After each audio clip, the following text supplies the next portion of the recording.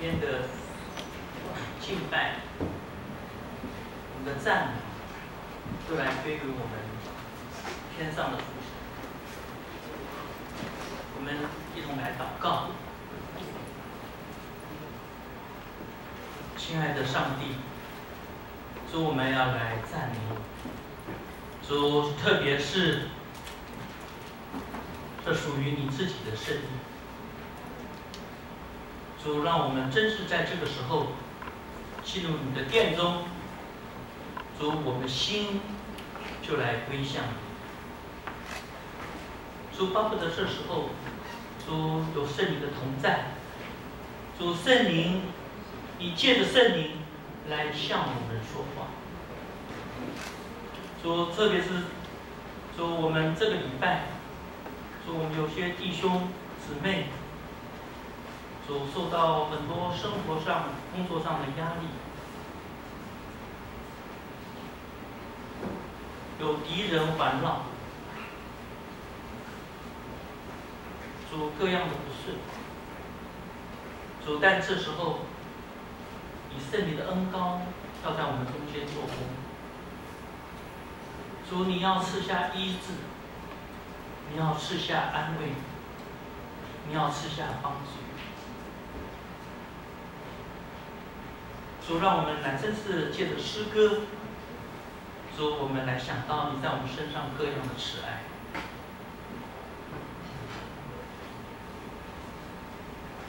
主啊，让我们来想起，主你在我们身上各样的恩典。主也能数算你在我们身上各样的帮助，也是我们可以说，因为主在我们里面。我的生命海阔天空，我们赞美你，主，因为你是我们的主，你永远做王，你是得胜的主。主在我们就是愿意来称颂你，主将荣耀赞美都归给你。主，我们再次把今天的敬拜聚会都交托在你面前，愿你圣灵与我们同在。主，你来赏赐，主你来祝福，主让我们在你面前多得恩典。我们把今天的聚会恭敬仰望在你面前，祷告奉耶稣基督的圣名。阿门。我们一同来读经，今天要读的是《沙漠记上》七章三到十四节。啊，《沙漠记上》七章三到十四节。那我们来一同来读。